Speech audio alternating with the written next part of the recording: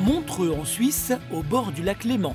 Sur les hauteurs de la ville se dresse une prestigieuse clinique de chirurgie esthétique. Depuis 10 ans, cet établissement haut de gamme attire une clientèle venue des quatre coins du globe. Je viens de Hong Kong. Chaque année, près de 3000 interventions sont réalisées.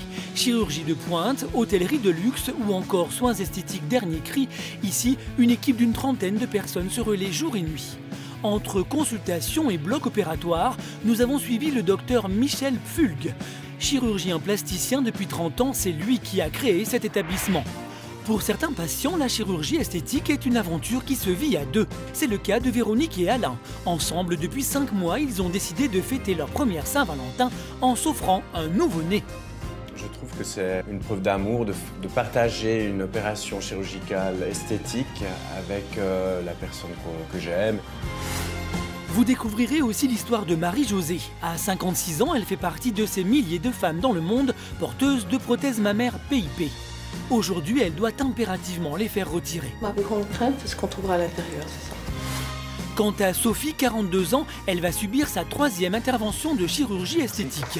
Après les seins et les cuisses, cette fois-ci, elle veut rajeunir son regard. Cette peau-là, on pourrait assez facilement vous l'enlever. Pendant plusieurs mois, nous avons partagé le quotidien de ces professionnels de la beauté et de leurs patients.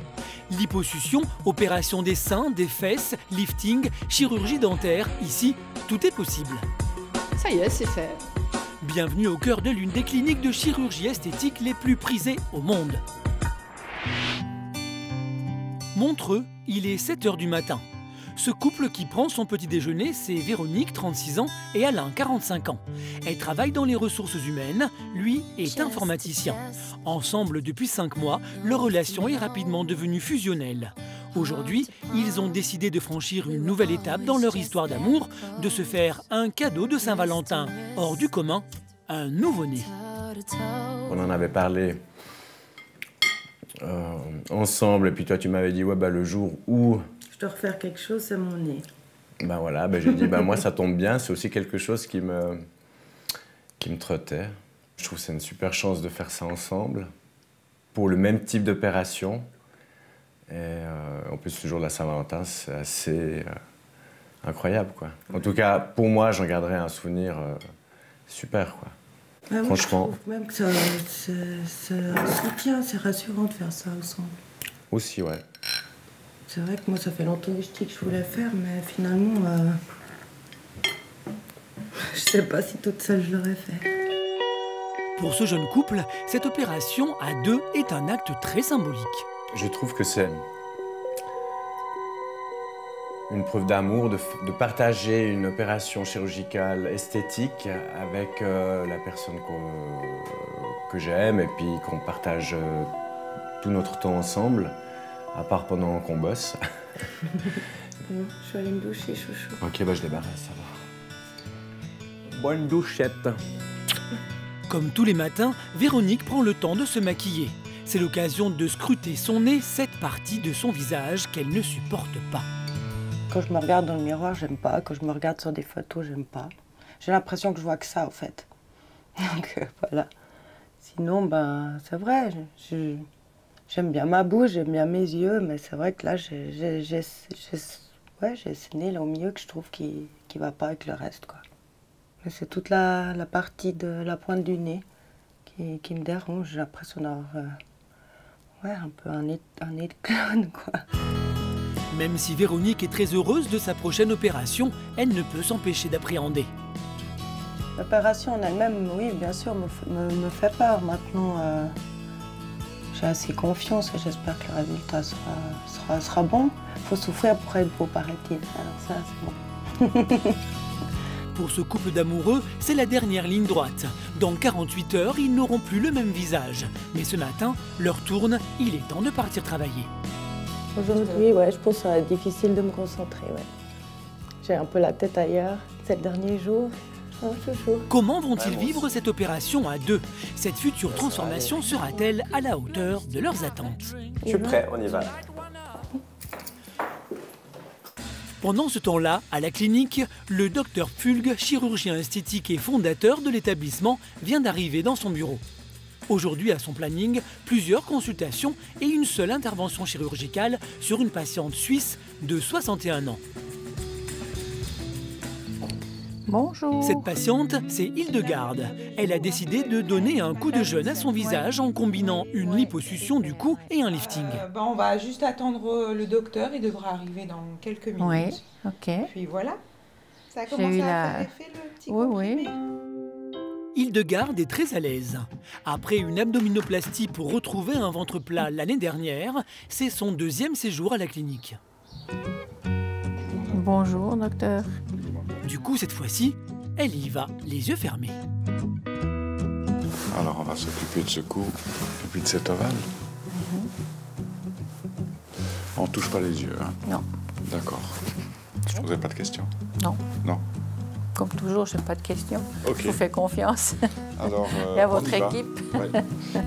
Direction le bloc opératoire. Pendant que l'équipe prépare Hildegarde pour l'intervention, le chirurgien, lui, se concentre. C'est un moment où on se remémore les, les interventions à faire pendant la journée, euh, le plan des interventions. euh, on se met dans la tête euh, les choses à ne pas oublier. on se prépare. Il y a une préparation psychologique, c'est vrai. Même si le lifting est l'une des opérations les plus pratiquées en chirurgie esthétique, c'est toujours une des plus complexes. C'est parti pour une heure d'intervention.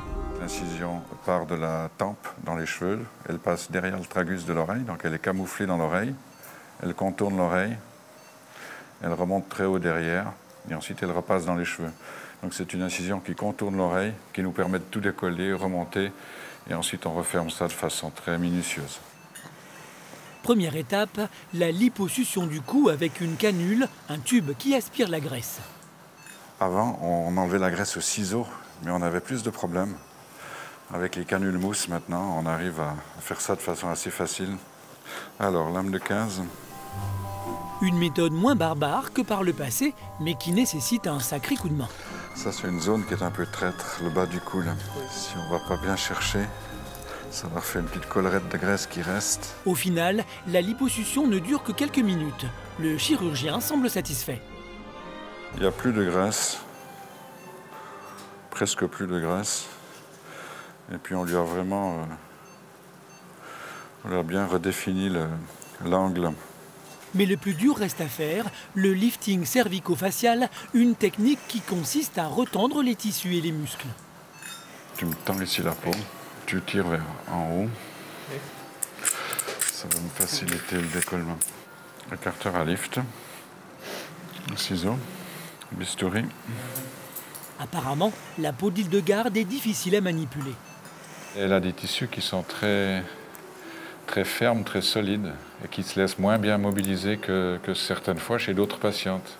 On a moins de laxité dans les tissus, moins d'élasticité et que la préparation est un peu plus difficile.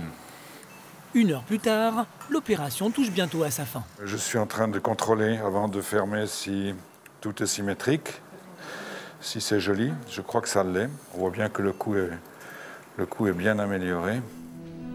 Jusqu'ici, tout se déroule parfaitement bien, mais le médecin ne relâche pas son attention, bien au contraire. Hildegarde souffre d'hypertension, une pathologie qui favorise les risques d'hémorragie. À Une tension trop haute, ça fait saigner. hein. Donc le problème de la patiente hypertendue, c'est que elle risque de monter sa tension dans la phase post-opératoire et ça peut effectivement entraîner éventuellement une complication, un hématome. Si elle pouvait monter à 100, 110, ça m'arrangerait. Comme ça, s'il y a un petit vaisseau qui saigne, je le vois avant de fermer. Pour remonter la tension, l'anesthésiste réduit les doses. Les agrafes sont posées, l'intervention est terminée. On va pouvoir laver.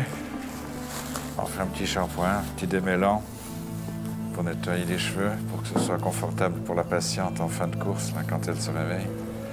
Sinon, elles ont les cheveux qui sont secs, pleins de sang. C'est pas très agréable. On est aussi des coiffeurs.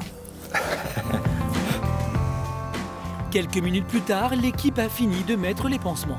Ce qu'elle a gagné, c'est en tout cas un cou qui est beaucoup plus net, hein, du fait de la liposuction. Elle aura un ovale qui est plus joli. Et elle a les tissus qui sont légèrement remontés au niveau des, des joues. C'est ce qu'on appelle un lifting cervico-facial.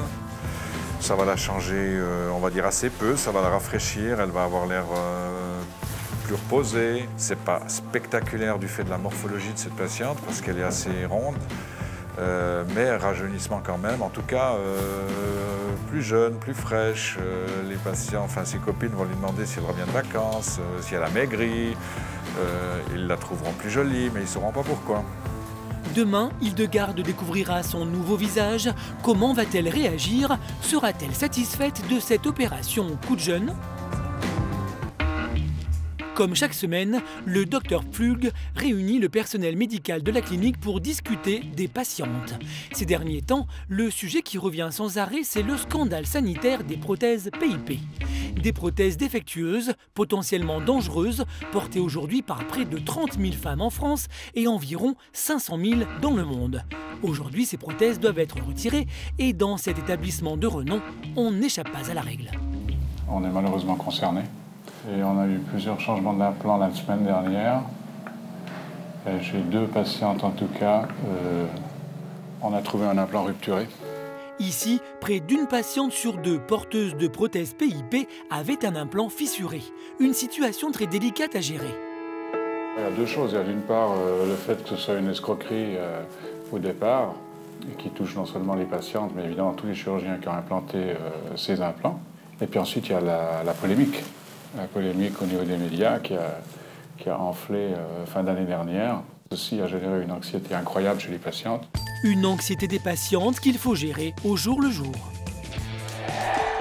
À la clinique, les plannings sont en général suivis à la lettre, mais même ici, de temps en temps, il faut gérer l'imprévu.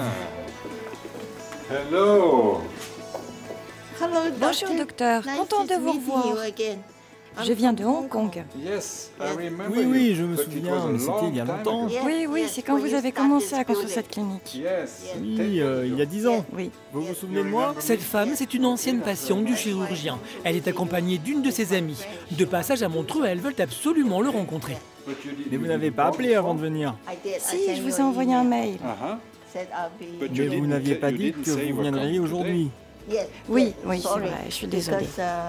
Ces deux clientes n'ont pas de rendez-vous, du coup elles tentent le tout pour le tout et ne sont pas venues les mains vides. C'est un souvenir. Que j'ai apporté. Pour moi. Pour vous. Wow De Hong Kong. Des boutons de manchette et une cravate, c'est leur façon à elles de s'excuser. Ici, près de 50% de la clientèle est internationale, Europe de l'Est, Amérique du Nord ou encore Asie, et apparemment certaines patientes sont très fidèles. Elle m'a rencontré il y a 10 ans euh, dans une autre clinique. Elle se souvient de moi. et Elle arrive spontanément avec un cadeau parce qu'il faut que je lui parle. Donc euh, ça me fait plaisir, mais en même temps, elle me met dans une situation difficile parce que je dois la prendre entre deux. Please. La prochaine cliente du médecin, c'est Marie-Josée, 56 ans. Bonjour Claire. Comment ça va? Bien, merci. J'ai rendez-vous avec le docteur. Depuis 10 ans, elle n'hésite pas à faire le voyage des îles Canaries où elle réside pour s'offrir un mini-lifting, un peeling ou encore une opération des paupières. Mais aujourd'hui, si elle est là, ce n'est pas pour son visage, mais pour ses seins. Marie-Josée a des implants PIP et doit absolument les faire enlever. On avait discuté d'enlever les implants, de faire un remodelage des seins. Ouais. Et maintenant, euh, on est juste avant l'opération et je me dis, est-ce que j'arriverai à avoir une poitrine quand même moins grande Mais ouais, il faut être sûr de ce que l'on va faire, donc on va, on va en reparler ensemble. Marie-Josée porte des implants mammaires depuis 34 ans. Elle ne supporte pas l'idée d'avoir de petits seins. Aujourd'hui, deux choix s'offrent à elle, changer ses prothèses ou ne plus en mettre. Venez voir jusqu'ici. Le médecin l'ausculte. D'après les échographies, l'un de ses implants serait peut-être percé. Tu regardes, tu vois, elle a, cette, euh, elle a cette, presque une petite herniation de l'implant vers le haut. Sinon, les seins sont souples. Il constate une légère déformation qui pourrait être une fuite de silicone. Ok, c'est bon. Depuis toutes ces années, ce n'est pas la première fois que Marie-Josée se trouve confrontée à ce type de difficulté. Elle a mis ses implants en 78. Elle a dû les changer en 98 parce qu'elle a eu des coques, une réaction avec aussi un implant qui s'était rupturé, qui n'était pas des pipes à l'époque, mais aussi rupture d'implant. Donc en 98, 20 ans plus tard, on a changé ses implants. Et aujourd'hui, 13 ans plus tard, on se trouve avec une probable rupture d'implant à gauche, des implants qui font partie de cette fameuse euh, polémique PIP. Et c'est donc pour ça qu'aujourd'hui, on est tenu de vous changer vos implants. Par acquis de conscience, le médecin lui montre les clichés d'une patiente qui a préféré ne pas remplacer ses prothèses, mais pour lui, Marie-Josée a déjà fait son choix. Compte tenu de ce que j'entends, de ce que vous me dites, euh, la façon dont je vous sens aussi, je pense que maintenant le choix doit être de, de changer les implants et non pas de les enlever définitivement. on part comme ça. On part comme ça, je prends note, je commande les implants, et puis on se voit mardi. On se voit mardi, docteur. Merci. Merci. L'opération est programmée. Dans quel état seront les prothèses PIP de Marie-Josée au moment de les retirer? Le chirurgien confirmera-t-il la fuite de silicone? À 19h, c'est Véronique et Alain, le couple d'amoureux, qui arrivent à la clinique. Vous allez bien? Bien et vous? Ouais. Bonsoir madame. Bonsoir, Bien arrivé Oui, ça oui, va bien. très bien, merci. Demain, c'est la Saint-Valentin et comme cadeau, ils se sont offerts une opération du nez. Avec le chirurgien, c'est l'heure de régler les derniers détails. C'est le nez que vous voulez Plus ou moins. Plus ou moins. Bon, on va en parler tout à l'heure. Donc, euh, c'est demain que ça se passe. C'est demain, oui. J'ai vu que c'était le 14 février. Eh oui. C'est une date qui nous a été proposée, donc on s'est dit. C'est la Saint-Valentin. Hein. Eh ben, dis donc, quel cadeau. Vraiment l'occasion de marquer le pas. Ouais. en principe, je devrais vous opérer vers 13h. 13h. 13h demain. Et puis ensuite, ce sera votre tour. Hein, on va voir ensemble ça tout, les- tout à l'heure. Si vous êtes d'accord, on va de l'autre côté. Alain s'est cassé le nez alors qu'il était jeune. Son objectif, le faire reconstruire tel qu'il était avant son accident. Alors, je vous allez juste vous asseoir ici. C'est la fameuse photo que vous m'aviez apportée euh, avec votre nez avant l'accident, c'est ça? Oui, tout à fait. On voit très bien que, que le nez était, était droit en fait, Tout à fait. avec une arête assez, assez large, assez masculine. Mhm. Donc le but c'est de raboter un tout petit peu ici pour aller ensuite poser dessus une greffe. Oui. Et on va pouvoir faire une arête euh, bien droite en prenant un tout petit bout d'os au niveau de la crête iliaque. Donc c'est pour ça qu'on vous endort complètement. Oui. La prise de greffe est assez douloureuse, c'est aussi ce qui va vous faire mal après l'opération. D'accord. C'est là que vous aurez mal, plus que plus qu'au niveau du nez. Que du nez. Ouais. Pour compléter le dossier d'Alain, le médecin prend des clichés de son nez sous toutes les coutures. C'est parfait. Merci infiniment. Des photos qui vont lui servir de base de travail. Après Alain, c'est au tour de Véronique. La jeune femme, elle, est complexée par le bout de son nez. Donc ça c'est la photo qu'on a qu'on a prise ensemble. On est bien d'accord que ce qui vous gêne, c'est cette pointe qui est un peu épaisse, un peu large, Ouais. un peu lourde. Ouais, tout à fait. On dira, on dira pas une patate, mais... Mais ouais, presque. Donc c'est ça que vous voulez affiner. Et c'est ça que vous m'avez montré comme, euh, on va dire, comme modèle. Avoir une, pointe un peu, une pointe un peu plus fine, un peu plus rétrécie. Oui. C'est pour ça que pour pouvoir faire un travail précis, je vais juste, je vais devoir décaloter la pointe Mhm. pour pouvoir resculpter le cartilage et lui donner la forme souhaitée. Pour son futur nez, Véronique a choisi celui de mannequins célèbres comme Karen Mulder ou Gisèle Bunchen. Une démarche qui ne surprend pas le chirurgien, bien au contraire. C'est même souhaitable que les patientes, euh, de temps en temps, nous amènent des photos pour nous dire voilà ce que, ce que j'aimerais. Ça nous permet de leur dire euh, ce que l'on peut faire et ce que l'on ne peut pas faire.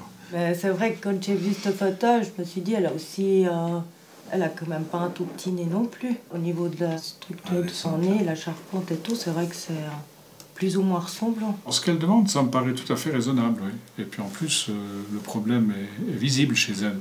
Elle a une grosse pointe de nez. On peut l'affiner. euh, c'est du domaine du raisonnable. C'est quelque chose que je crois pouvoir lui donner. Donc, dans un cas comme ça, on se met d'accord. Une greffe osseuse pour Alain, un remodelage pour Véronique, deux interventions du nez assez banales pour le docteur Pulgue. Mais ce qui l'est moins, c'est d'opérer un couple le même jour. En général, c'est, c'est l'un des partenaires qui se fait opérer et puis l'autre qui prend soin de l'autre. Mais que les deux se fassent opérer, c'est rare. On se voit le 14. Le 14. Grâce à cette consultation, Véronique et Alain envisagent leur opération du lendemain plus sereinement. Je suis définitivement rassuré. Je suis confiant. On est en confiance, ouais. Ouais. Demain, Véronique et Alain s'apprêtent à vivre une Saint-Valentin hors du commun. Seront-ils toujours aussi confiants avant d'entrer au bloc? Et surtout, comment vont-ils réagir en se découvrant l'un l'autre après l'opération?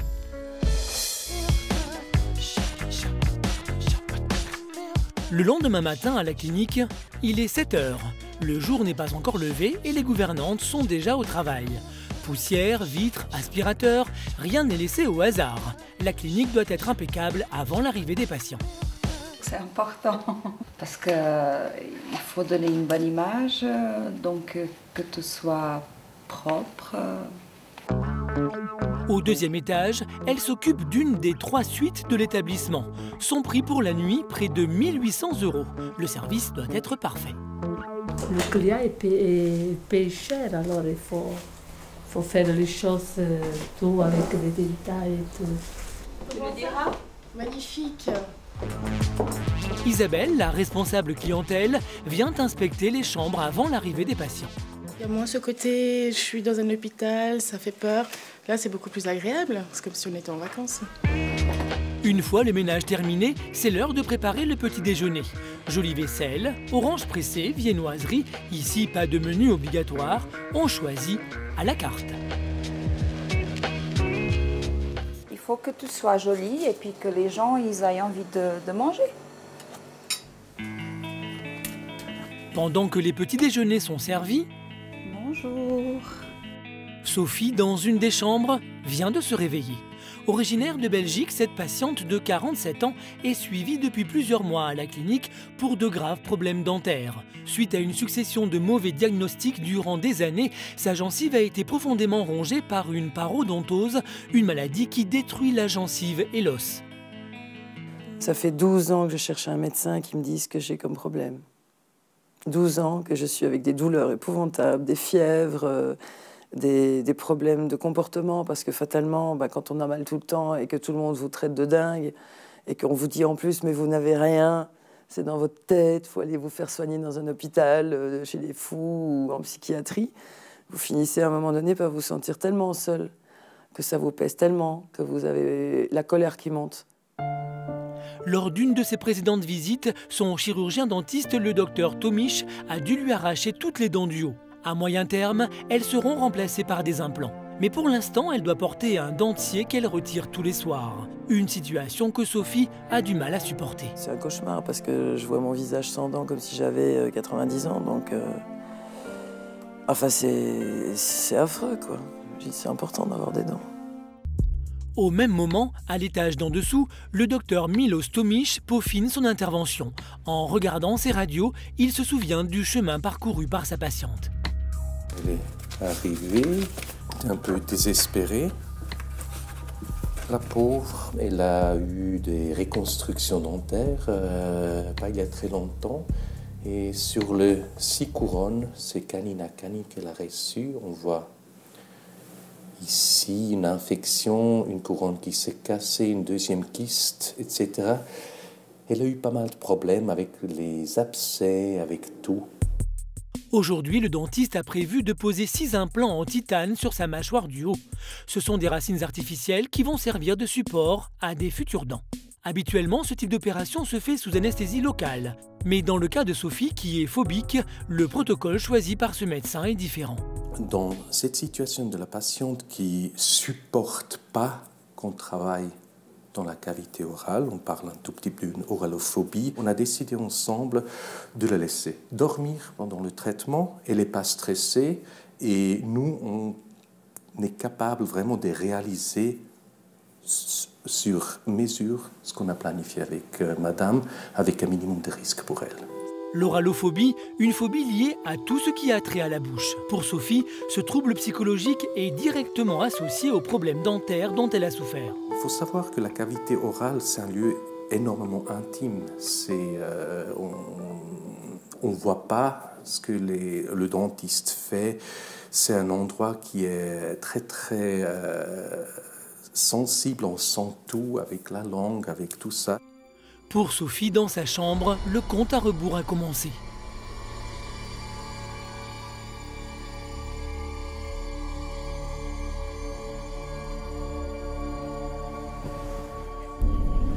Oh, je dormirai bien, je suis crevée. Je prends juste la tension, la température. Pas de souci. L'infirmière la prépare pour l'opération avant la visite du docteur Blanchard, l'anesthésiste. Ça va bien. Ça va, c'est la dernière fois? Ouais. Non Pas trop inquiète Euh, cette fois-ci, ouais. Oui, y a pas de Beaucoup plus, ouais, que la Pourquoi dernière fois. ouais. Ça va bien se passer, ça s'était bien passé la dernière fois, il n'y a pas lieu. Je sais pas. C'est plus compliqué cette fois-ci. J'ai peur de que ça se rejette en fait.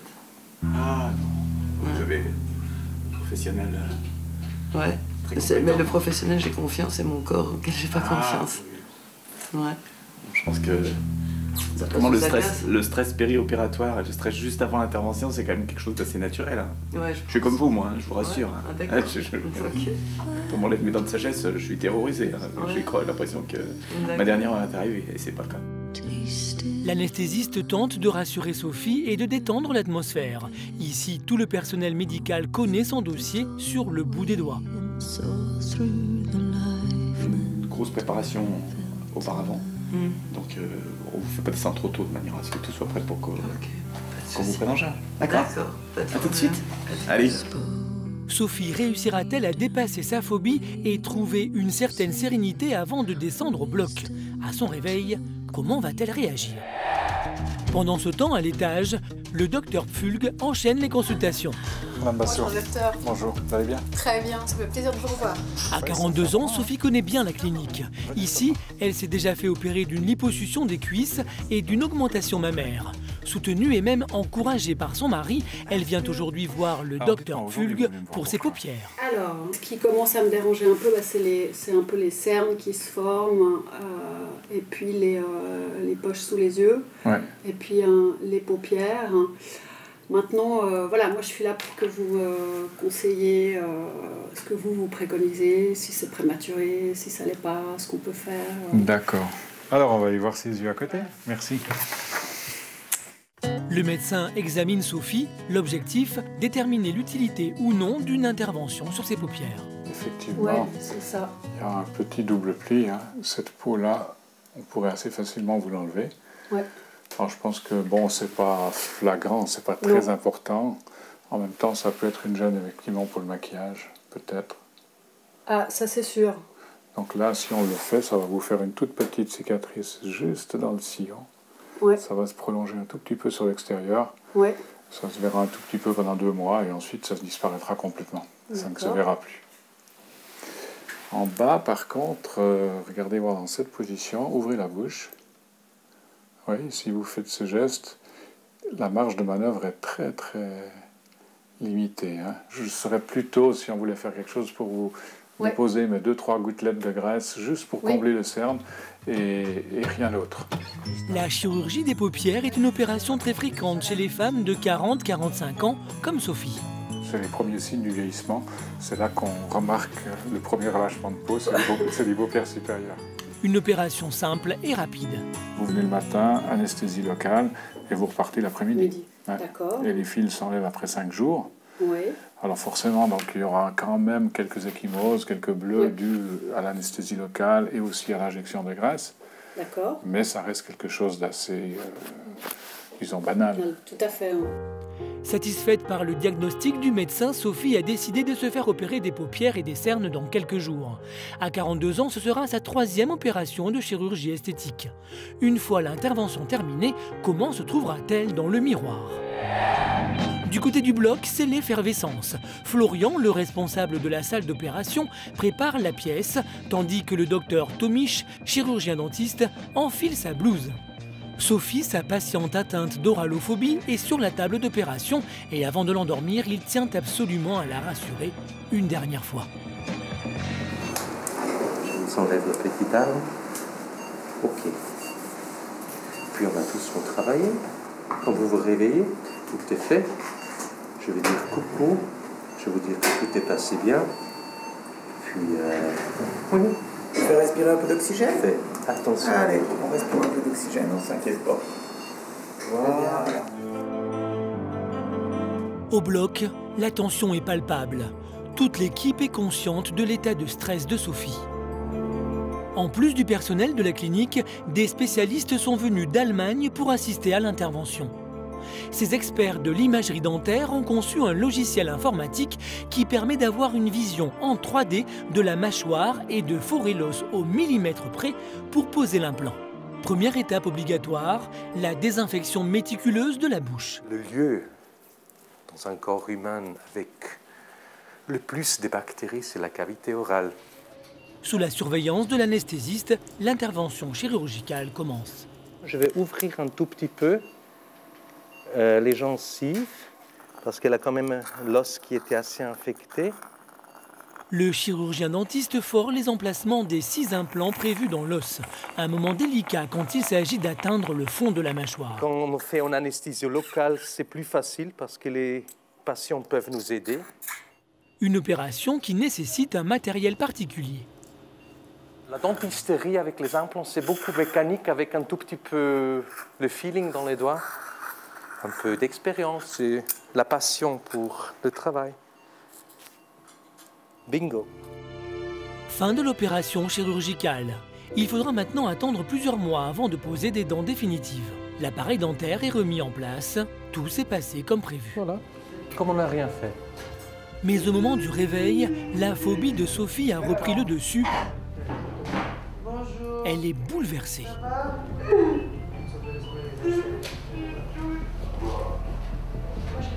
Bon alors, on a mis les implants, ça c'est fait.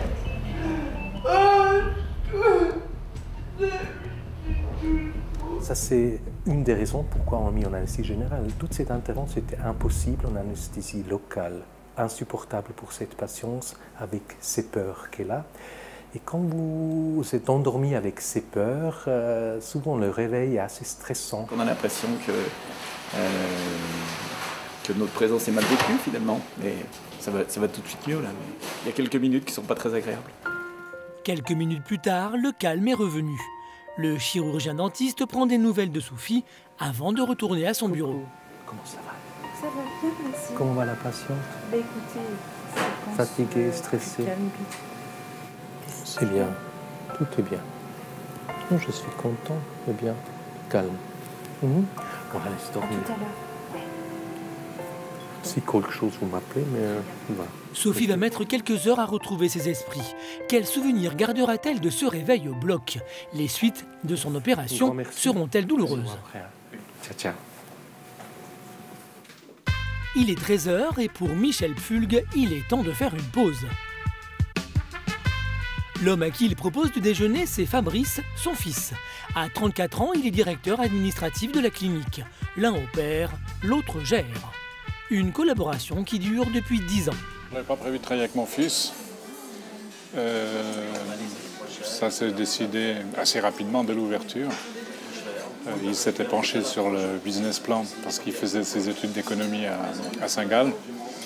Et j'avais demandé euh, ses services pour préparer le business plan en vue des emprunts bancaires pour pouvoir faire mon établissement. C'est un bébé qu'on a créé, élevé, nourri ensemble. Donc je pense qu'on doit le porter ensemble. Diriger une clinique à deux tout en essayant de garder une relation père-fils normale, un véritable challenge pour les deux hommes. On essaye de, de séparer les choses et, et de ne pas trop mêler le professionnel au privé, même si forcément euh, il y a un mélange obligatoire.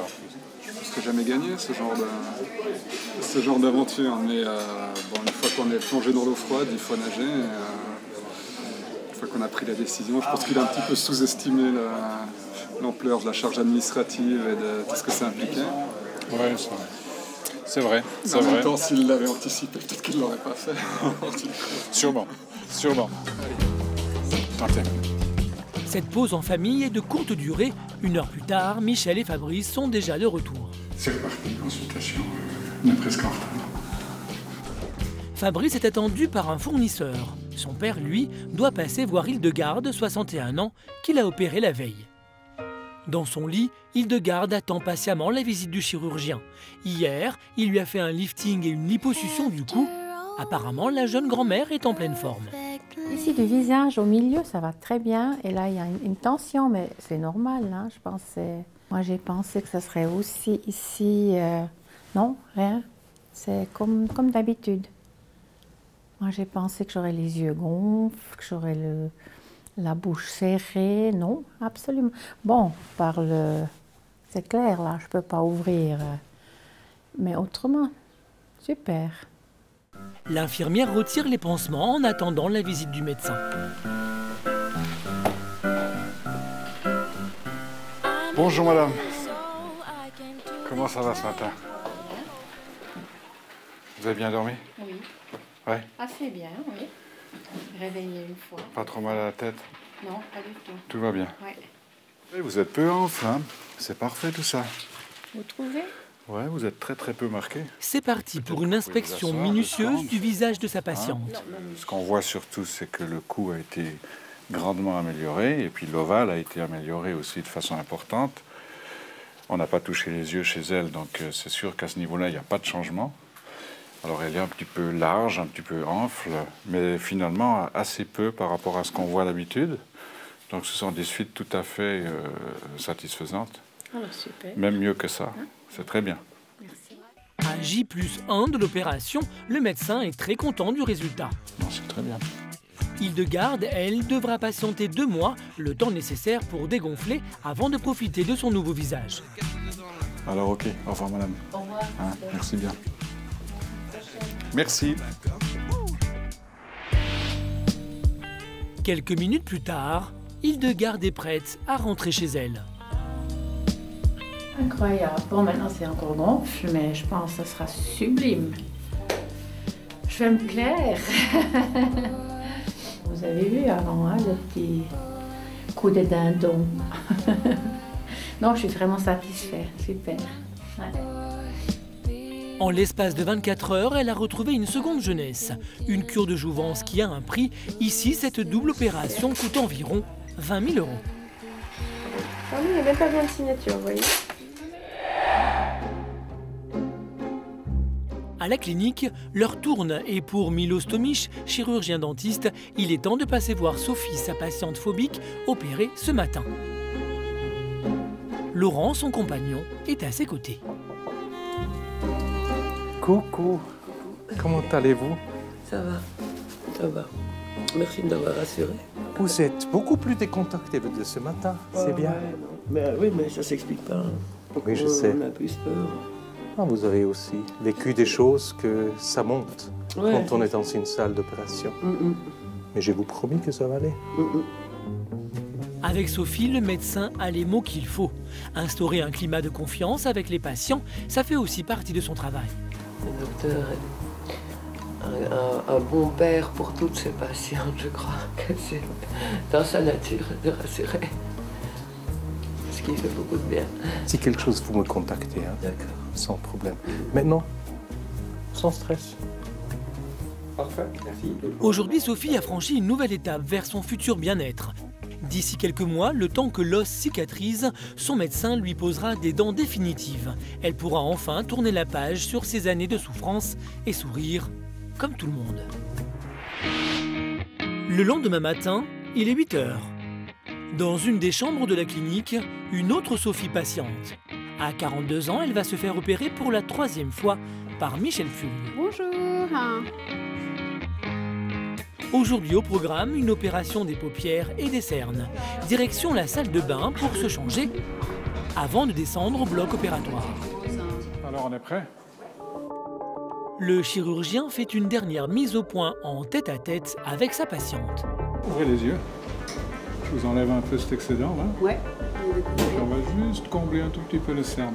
Je vous prendrai un peu de graisse au genou. Genou, parfait. D'accord Ok, On y va. c'est très bien. Allez, à tout à l'heure. hein. À tout à l'heure. Ça va, vous dormez pas, non Ah non, de là. Alors ça, ce sont mes points de repère pour, euh, pour marquer le, le petit lambeau de peau que je vais enlever. L'opération se déroule sous anesthésie locale. Des produits qui agissent très peu sur Sophie. La seule chose au niveau des, des anesthésies locales, je résiste euh, très fort aux produits. Je vous préviens, voilà. On va essayer de faire le mieux qu'on peut. Première étape, prélever de la graisse au niveau du genou pour combler les cernes. Vous allez peut-être sentir un petit quelque chose. On fait des mouvements de va-et-vient et on aspire la graisse dans la seringue. Une fois la graisse récupérée, après Alors, une piqûre anesthésiante, le médecin va pouvoir s'attaquer aux paupières. chose, hein. Donne-moi le l'impression que vous bougez, vous sentez. Oui, je sens hein, un petit peu, mais. Ça fait mal ou Euh, ça Ah. picote un peu. ça ouais. picote un peu Ouais, ouais. Peut-être que vous êtes vraiment résistante à Ah, la locale. Je vous dis pas, je m'étais fait opérer du pied. Euh, Je vais en remettre un peu. Vous avez dit, je suis un, un cas spécial. Le docteur Fulg augmente la dose d'anesthésiant. Une fois les paupières terminées, il passe au comblement des cernes. On peut remplir le cerne avec euh, soit de l'acide hyaluronique, mais qui a le défaut de- d'attirer l'eau. Et ça gonfle plus facilement. C'est très délicat parce qu'on peut dans les suites avoir des œdèmes. Soit de la graisse, ce qu'on va faire maintenant. La graisse, une substance complexe à manipuler. Si on en met trop, c'est dangereux parce que ça peut faire des irrégularités. Mais en en mettant juste ce qu'il faut, on arrive à combler le cerne. Mais une fois qu'elle est là, elle part plus. C'est super. Pour terminer, le chirurgien lui pose un pansement de compression. Sophie devra le garder deux heures pour éviter les gonflements. Et après, elle pourra rentrer à la maison. Elle est un petit peu résistante à l'anesthésie locale. Je suis coriace. Coriace, hein? Non, mais sinon, ça s'est très bien passé. Ça y est, c'est fait. C'est impressionnant de pouvoir participer, euh, de- d'entendre ce qui se fait. hein. Dans deux heures, Sophie va pouvoir ôter ses compresses. Que pensera-t-elle de son nouveau regard? Malgré les contusions, réussira-t-elle à voir le résultat? Dans un instant, le couple d'amoureux, Alain et Véronique, va se faire opérer du nez. Viens le regarder, chouchou. Ouais, c'est la dernière C'est la fois. dernière fois. Comment vont se passer leurs interventions? Sophie n'a plus ses pansements. Maurice, son mari, va venir la chercher. Il va nous être impressionné quand il va me voir. Mais... Comment va-t-il réagir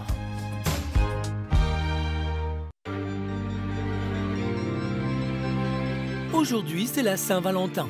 Alain et Véronique, en couple depuis 5 mois, sont en route pour la clinique. Pour fêter le jour des amoureux, ils se sont offerts une opération du nez. En apparence, ils sont décontractés, mais la nuit a été courte, surtout pour Véronique. J'ai bien dormi jusqu'à 3-4 heures du matin et puis ensuite euh, j'ai ruminé, je me suis reposée. Enfin ouais, j'ai- essayé d'imaginer comment ce serait. Puis je me fais un petit peu de soucis, mais sinon ça a été. Euh, c'est maintenant que j'appréhende un peu plus. C'est le fait de, qu'on est à deux heures de l'opération, que une fois que je serai réveillé, ben, je serai autrement, je serai changé. Je le verrai pas. Donc c'est stressant. Ah, chouchou, on y est. hein. Ouais, là on y est. Je, ouais, je, je réalise pas quoi. Eh oui. Merci. Bonjour, madame. Bonjour. À leur arrivée, ils doivent patienter quelques instants. Alain, lui, commence à montrer quelques signes de nervosité. Ouais, ouais, un peu stressé. bah quand même un peu, non? Ce qui ne l'empêche pas d'embrasser sa Valentine. Bonne Saint-Valentin.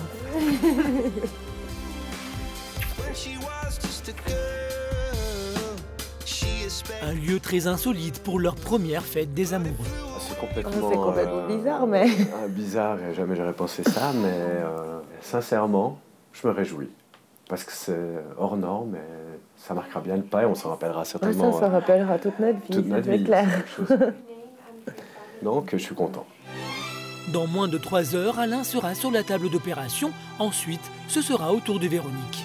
Bonjour. Ouais, je pense. Moi, c'est Linda. Bonjour, Véronique. Bonjour, moi c'est Alain. Enchantée, ça va Linda, l'une des infirmières, va s'occuper d'eux pendant leur séjour. Première étape, la visite de leur chambre, une des plus belles suites de la clinique. Ah, c'est magnifique. Ouais, c'est très beau. Une suite d'une valeur de 1800 euros. T'as vu cette vue Une vue panoramique sur les montagnes et le lac Léman, digne d'un palace qui ferait presque oublier que c'est une clinique de chirurgie esthétique. Waouh. Un luxe dont ils ne vont malheureusement pas beaucoup profiter. L'heure de l'intervention approche, il faut se préparer. Maintenant, vous pouvez juste commencer à vous préparer. D'accord. Donc, vous avez chacun la petite panoplie. C'est mignon. D'accord. ok. Voilà. Parfait. Vous avez des questions? Non. Enfin, je sais pas, t'en as? Non, non, tout est clair. Sans plus tarder, Alain et Véronique enfilent leur tenue pour le bloc. Ils observent leur nez. Dans quelques heures, ils ne seront plus jamais les mêmes. Faut bien le regarder, je vous Ouais, c'est la dernière la fois. dernière fois. hein. Profil. Hein, quand même. Il y aura plus tout ça. Dans la chambre, les préparatifs se poursuivent. Contrôle de la tension, prise de température et calmant. Alain et Véronique ont toujours du mal à s'imaginer avec leur nouveau-né. Tu réalises que tu me verras différemment Non, je te verrai toujours la même chose. Oui, mais n'empêche que...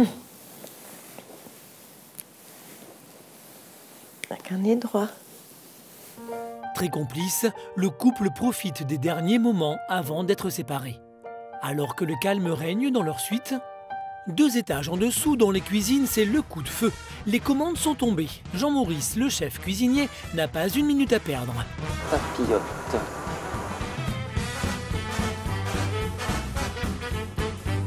Comme dans un restaurant gastronomique, chaque détail compte. L'appétit vient en, en regardant un petit peu ce qui se passe dans l'assiette. Et puis c'est notre image, tout simplement. Euh, On essaye de faire au mieux, comme à tout niveau médical. Et puis là, c'est la cuisine, il faut que ça reste sur un même niveau, quoi. On va dire ça comme ça. Que tout le monde soit à la même page, quoi. Aujourd'hui, un patient a écrit un petit mot. Une jolie surprise pour le cuisinier. Ça fait plaisir. Ça me plaît parce que, vu que je ne prends pas contact avec les, les gens, euh, c'est une façon de savoir s'ils sont contents ou pas. Les patients sont satisfaits, le service est terminé. Il est 13h. Au même moment, dans la suite, c'est l'heure de la séparation pour les amoureux. Alain se fait opérer en premier. Véronique se retrouve seule. C'est le seul moment où je crois qu'on peut pas être en- ensemble. Alors, c'est pendant qu'on est chacun en bloc. Alors, euh, ouais. J'ai hâte d'être à ce soir, en fait. J'ai hâte qu'on se retrouve et que, que tout soit bien passé, surtout. Direction le bloc opératoire. Le docteur Fulgue se prépare pendant qu'Alain est déjà sous anesthésie générale. L'intervention chirurgicale pour modifier son nez se fera en deux étapes. On va prélever la, greffe au niveau de la hanche. Et ensuite, on va préparer le, le lit pour la greffe au niveau du nez. Ensuite, on va devoir modeler la greffe pour pouvoir euh, l'adapter. Et enfin, le plâtre. Le chirurgien utilise un fragment d'os de la hanche plutôt qu'une prothèse pour éviter les risques de rejet. C'est aussi plus solide. Une bistouri.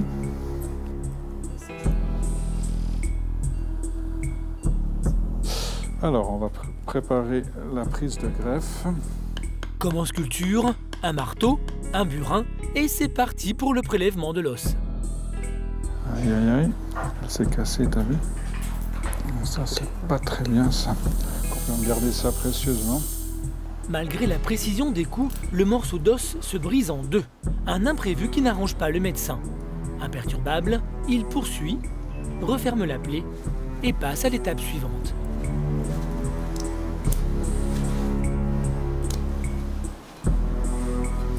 Alors, on va passer en haut. Je vais d'abord nettoyer les narines. C'est le moment le plus délicat de l'opération. Ah ben, il faut qu'on fasse très attention.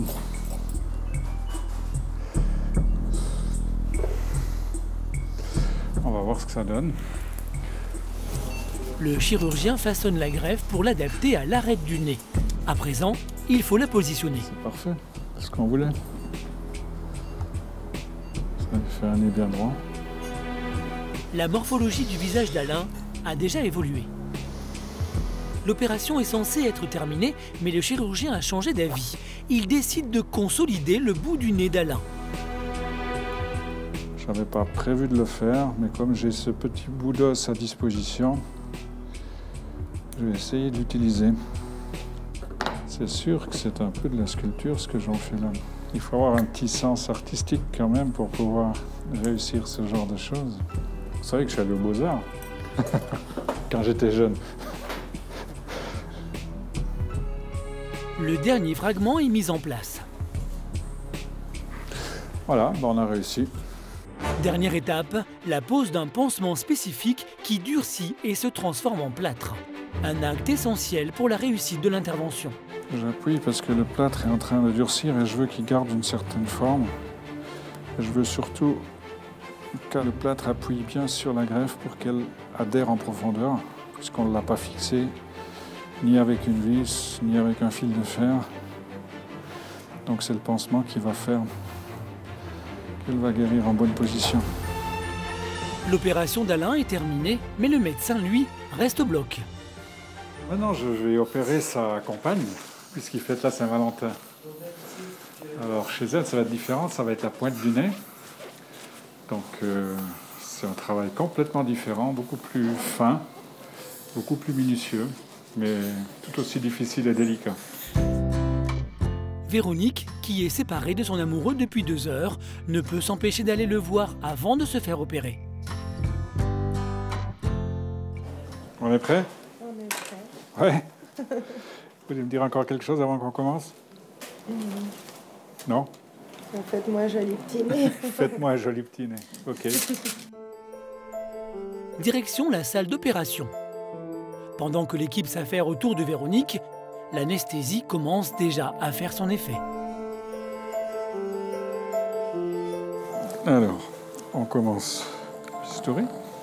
L'objectif, retirer des bouts de cartilage afin d'affiner la pointe du nez. C'est un travail très délicat. En plus, euh, le cartilage est fragile, les aiguilles coupent. C'est toujours assez, assez délicat de fixer ces pièces ensemble. Ici, chaque année, une cinquantaine de rhinoplasties ou opérations du nez sont pratiquées. Celle de Véronique touche à sa fin. Les modifications sont déjà visibles. On peut déjà constater que dans cette zone, par exemple, le nez est beaucoup plus fin qu'avant. Elle n'a plus cette grosse patate qu'elle avait. On voit que là, ça va être plus fin. Et vers l'avant, les dômes un peu plus hauts. Il ne reste plus qu'à faire quelques points de suture. C'est joli. Plus que le pansement, on a terminé. Elle dort bien là. Les deux opérations d'Alain et de Véronique sont un succès. Pourront-ils fêter la Saint-Valentin comme il se doit? Je ne sais pas s'ils vont pouvoir boire la coupe de champagne ce soir, hein, mais en tous les cas, on leur souhaite une bonne Saint-Valentin, ça c'est sûr. Dans la salle de réveil, Véronique, encore sous l'effet de l'anesthésie, n'entend pas son compagnon. Chouchou. Chouchou. Vous avez vu qui vous avez à côté de vous? Chouchou. Regardez-le. Regardez-le. Chouchou. Qui c'est qui est là? Chouchou. Elle va mettre quelques minutes à émerger. hein. Allez.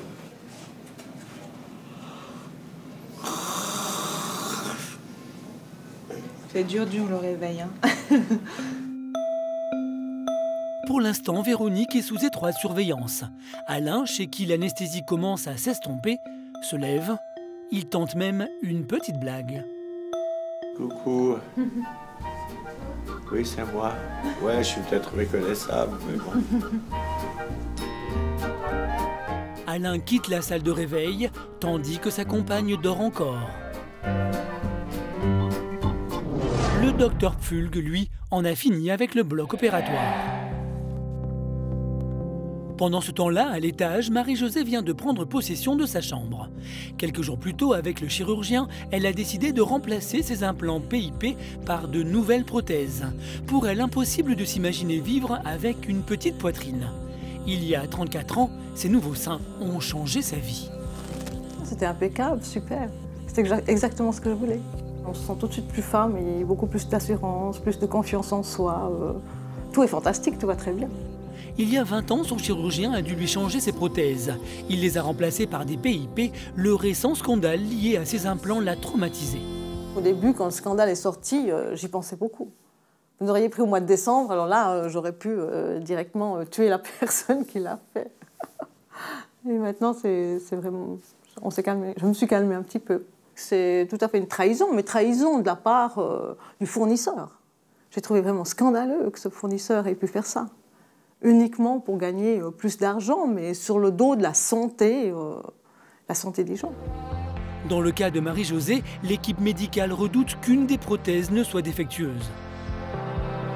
J'ai une petite capsule qui s'est formée ici, au niveau du sein gauche. Je sais que de toute façon, il y a quelque chose qu'il faut les enlever. Et il verra demain. Le seul moyen de savoir ce qu'il en est, c'est d'opérer. Maintenant que je suis ici, je me sens bien parce que je suis déjà sur place. Je ne serai pas trop stressée demain matin au moment de l'opération.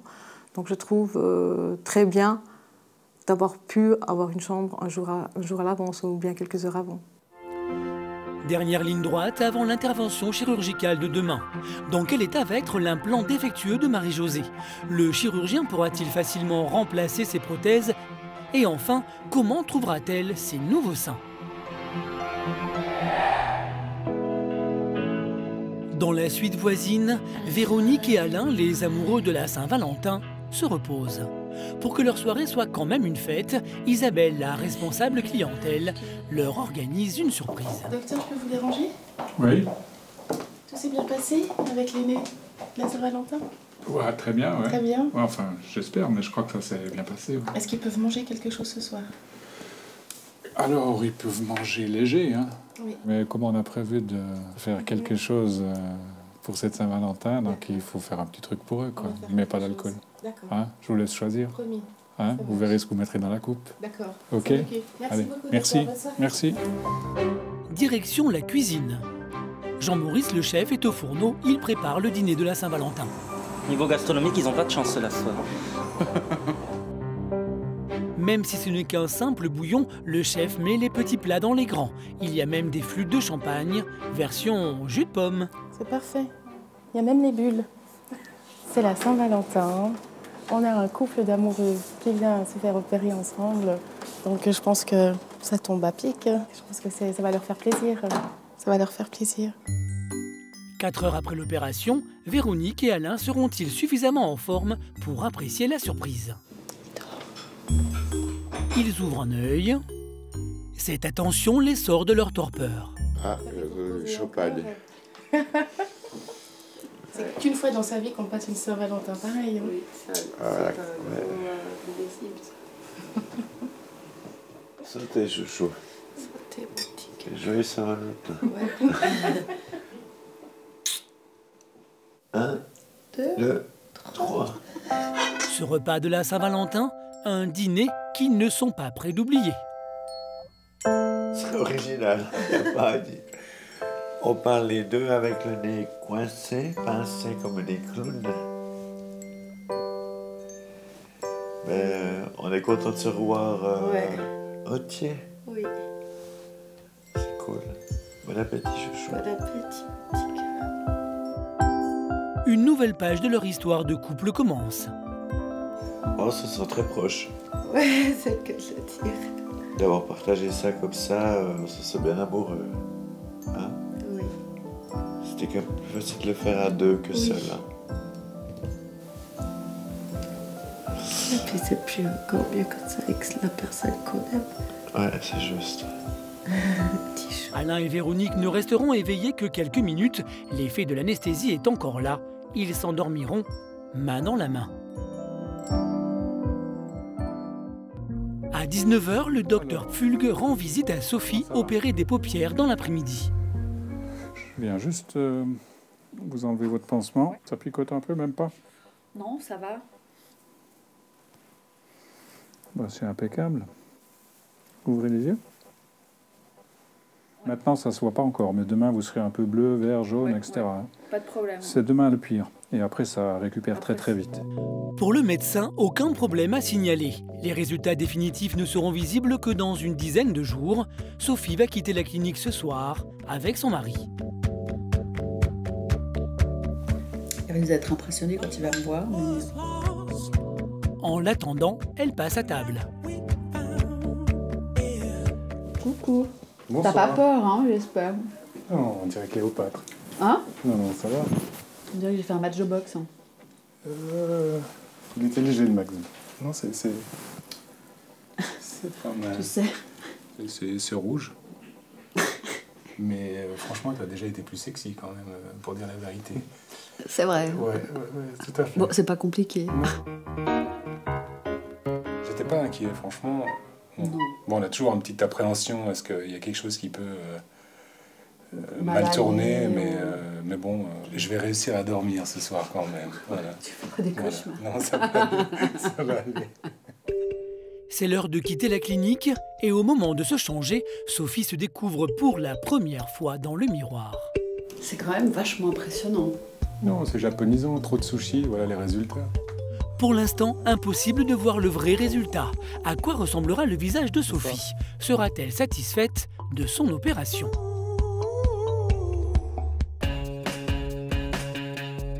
La journée de travail terminée, le docteur Fulg a rendez-vous avec Andrés, son coach sportif personnel. Jogging, étirement, renforcement musculaire, halter, les exercices vont s'enchaîner pendant près d'une heure et c'est comme ça toutes les semaines. Bien joué, Michel. Merci. C'est super. Avoir son coach comme, comme j'ai Andrés, c'est pour moi très important parce que ça m'oblige à être là au rendez-vous, ça, ça me stimule pour, euh, pour faire ces exercices. Ah, C'est important d'être en forme physiquement, ouais, de trouver son équilibre avec son corps euh, pour être performant. C'est vrai que la journée, on ne bouge pas tellement. hein. On est assis, on, bon, on est en salle d'opération des fois. On, on se fait mal au dos. Si je ne le fais pas, euh, ça me manque. Pour le chirurgien, le sport est un élément essentiel à son bon fonctionnement. Le sport, ça, ça détend et ça nous permet de déstresser, c'est sûr. On oublie tout quand on fait ça. Ok. À 22h, le docteur Fulg rentre enfin chez lui.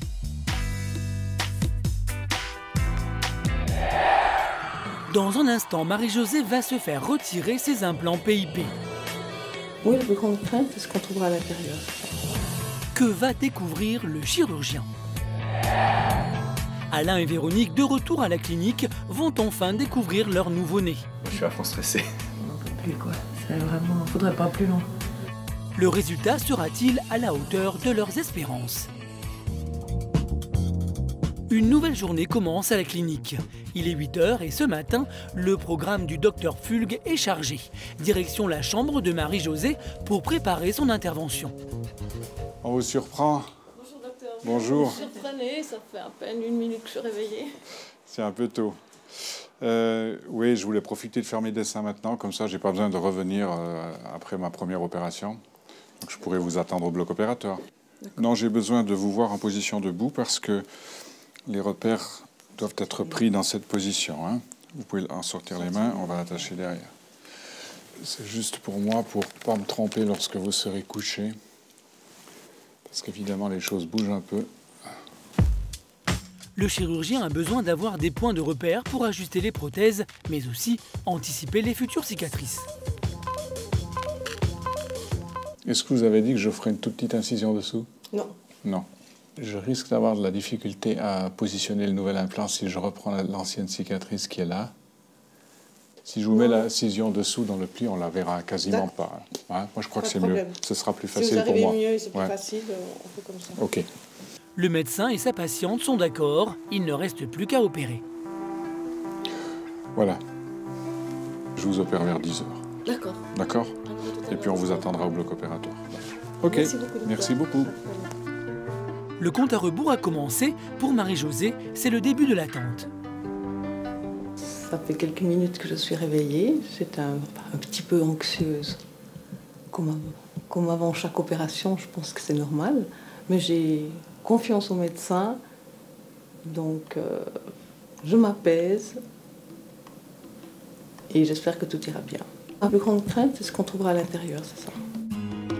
Dans quel état se trouvera l'implant potentiellement défectueux de Marie-Josée? Aura-t-il causé des dégâts? Seront-ils importants?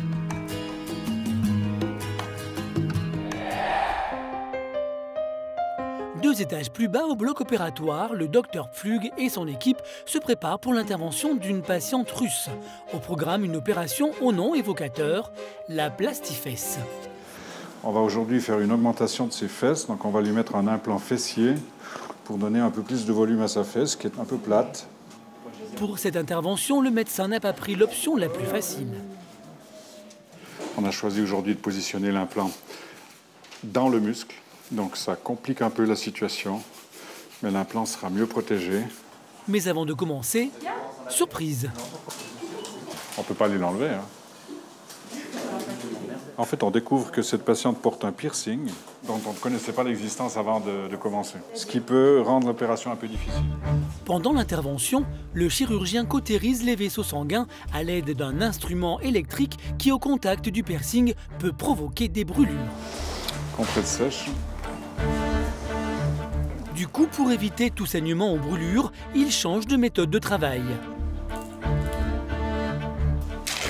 Ce type d'opération est très rare ici, environ une fois par an.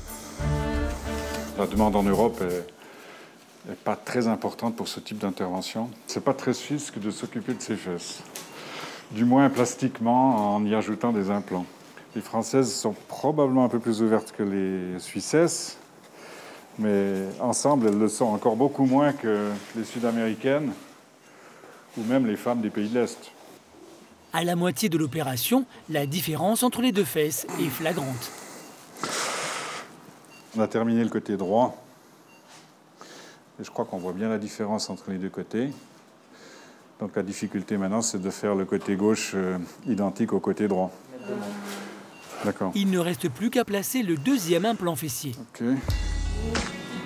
Pour le chirurgien, l'intervention est une réussite. On a des implants qui sont suffisamment volumineux, c'est ce qu'elle voulait, et qui sont symétriques. Voilà.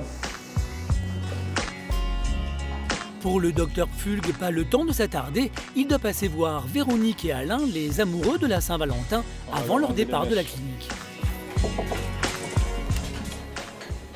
Bonjour. En forme? Alors moi je viens vous débarrasser de vos mèches. Il tient à s'assurer que leurs nez vont bien. Alors je tire la mèche. Les mèches, ce sont des bandelettes de coton pour éviter les saignements. Vous pouvez respirer Ouais. Ça passe? Cool. Ça va mieux, hein?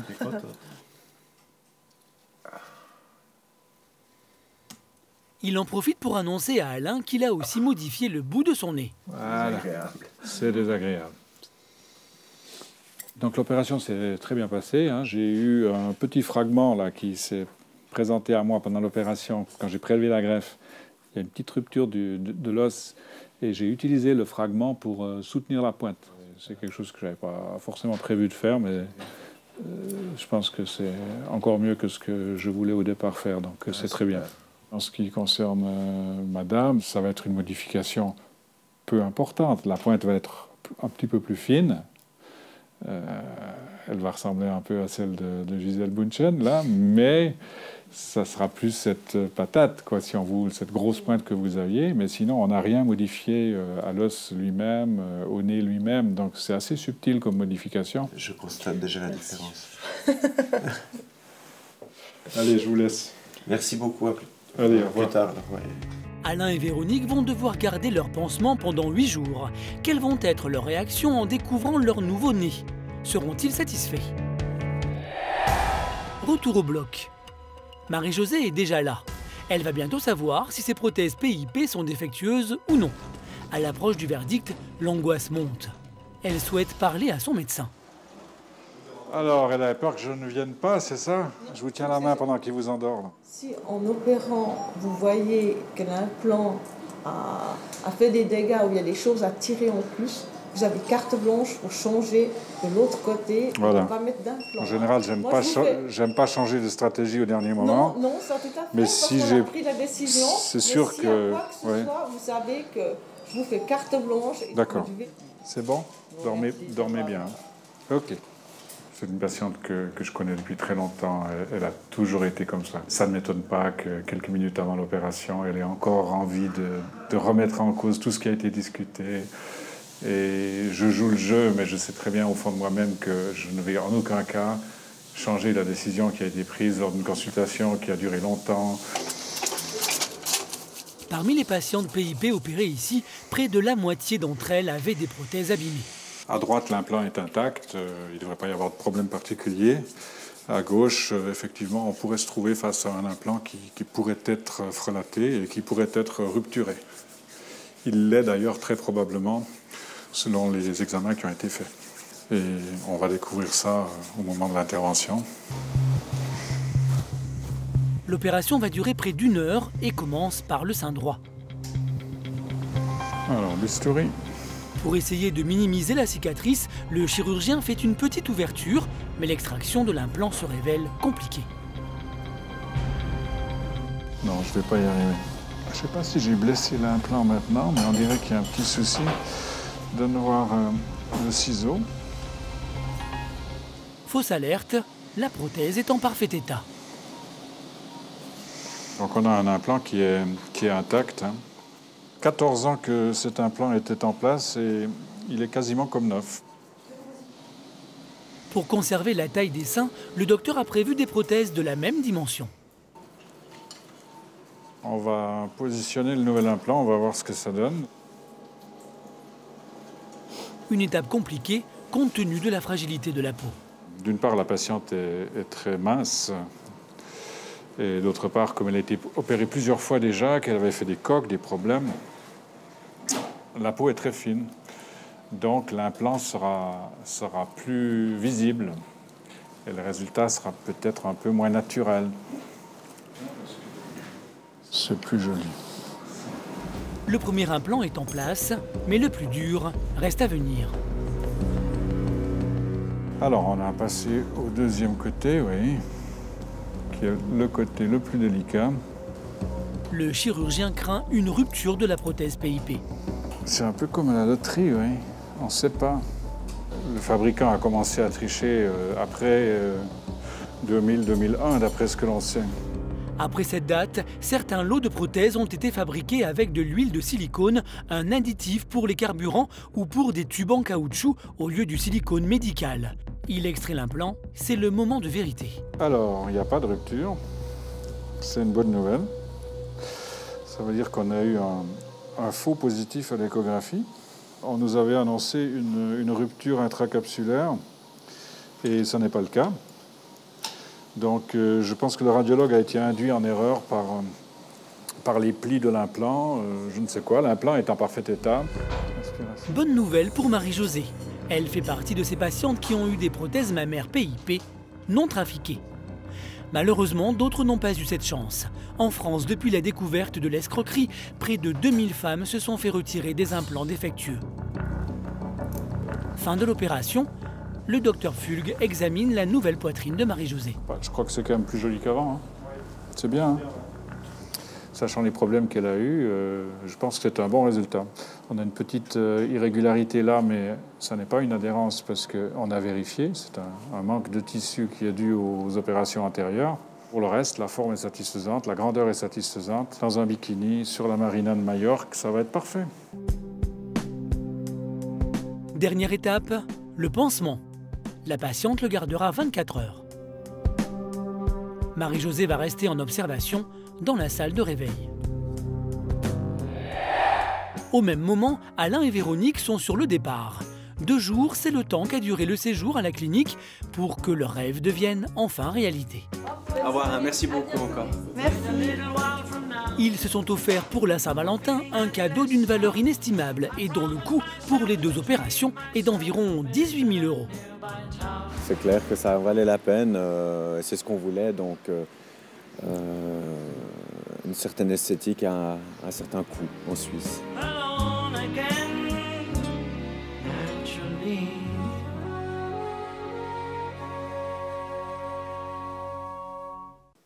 De son côté, le docteur Fulgue se dirige vers le premier étage dans la chambre de Marie-Josée. Il va lui annoncer les résultats de son opération. Je peux allumer? Bonsoir. Alors j'ai une bonne nouvelle pour vous. Les deux implants étaient intacts. Ouais. Alors, je pense qu'il y avait une petite hernie euh, de l'implant euh, au travers des fibres musculaires, mais euh, pas de rupture. Donc on a pu facilement euh, nettoyer, enlever l'implant et le remplacer euh, sans trop de difficultés. Globalement, je suis très content de ce qu'on a pu faire Alors, et ça va être très bien. Oui, en tout cas, je me sens bien, ça va très bien. Au revoir. Merci beaucoup, docteur. Bonne soirée. Merci beaucoup. hein. Une excellente nouvelle pour Marie-Josée qui s'attendait au pire. C'est terminé, oui, le cauchemar, c'était de pas savoir ce qu'il y avait vraiment à l'intérieur. Et maintenant, c'est le soulagement complet. Et si le docteur me dit qu'il est très content de son travail, alors euh, ça doit être un résultat euh, hyper génial. Marie-Josée devra encore patienter quelques jours avant de découvrir sa nouvelle poitrine. Dès que possible, elle s'envolera vers les îles Canaries, où elle habite.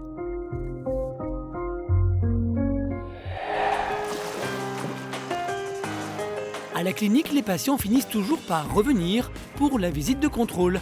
Huit jours après leur opération, Alain et Véronique sont de retour pour se faire retirer leur pansement. Pour eux, l'attente a été interminable. Impatient, content de découvrir. Ouais. Moi, j'ai déjà découvert un petit peu son nez, donc euh, je le vois un peu. Non, mais on a hâte, surtout, on n'en peut plus, quoi. C'est vraiment... Faudrait pas plus long. Cette aventure de la chirurgie esthétique, Véronique et Alain ont voulu la vivre ensemble jusqu'au bout. Le médecin s'occupe d'abord de la jeune femme, il retire les pansements et les points de suture. C'est tout à fait euh, normal comme évolution. Véronique va enfin se découvrir. C'est beau. Je suis contente, déjà comme ça. hein. Elle examine son nouveau-né sous toutes les coutures. Le résultat est au-delà de ses espérances. Vous êtes un magicien. C'est au tour d'Alain. Son pansement est un plâtre, l'opération est plus délicate. Alors, ça m'a l'air parfaitement en ordre. Tout petit peu enfle. Faut pas trop le toucher pour l'instant. Le chirurgien semble satisfait, mais ce n'est rien comparé à la réaction d'Alain. Ah ouais, ça change, ça me fait déjà tout drôle de plus avoir. Je sais pas comment la caméra. La métamorphose est flagrante. Regardez-moi de face. Non, c'est bien. Ah ouais. Je transpire. Attends, ça a tout changé. hein. T'es un peu enflé. Nickel. Ah, je suis super content. Alain et Véronique sont ravis de leur nouveau-né. Il faudra qu'ils patientent encore plusieurs mois, le temps que les tissus dégonflent, avant d'obtenir le résultat définitif.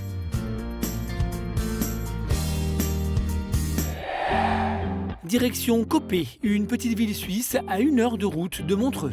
Sophie, opérée des paupières il y a quelques semaines, est retournée à sa vie de tous les jours.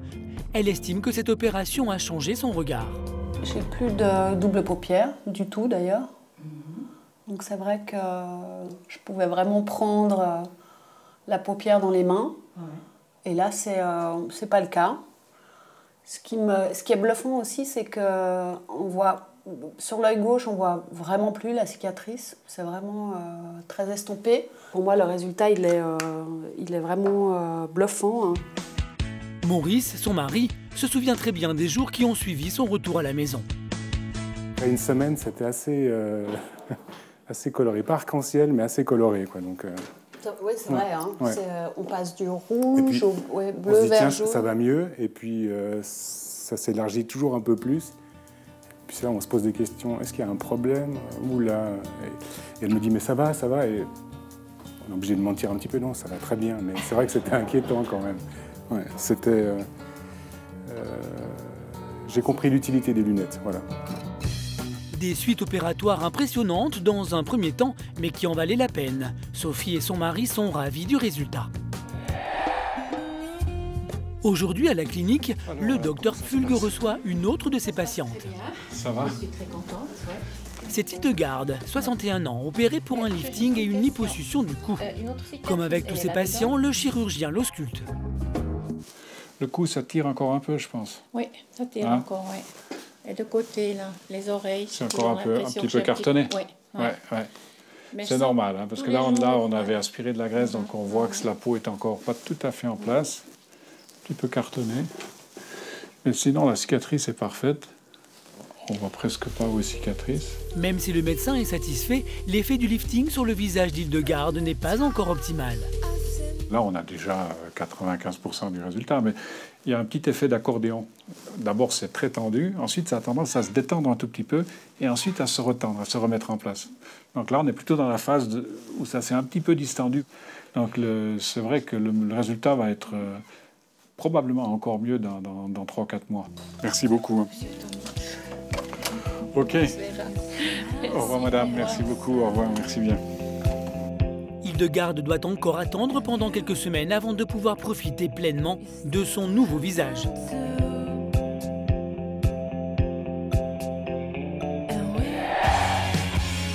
Chaque année, le docteur Michel Pfulg pratique 400 interventions de chirurgie esthétique. Depuis la création de son établissement, il y a 10 ans, lui et son équipe ont accueilli des milliers de patients. Près de 50% d'entre eux font le déplacement de l'étranger. Leur objectif, être entre les mains des meilleurs.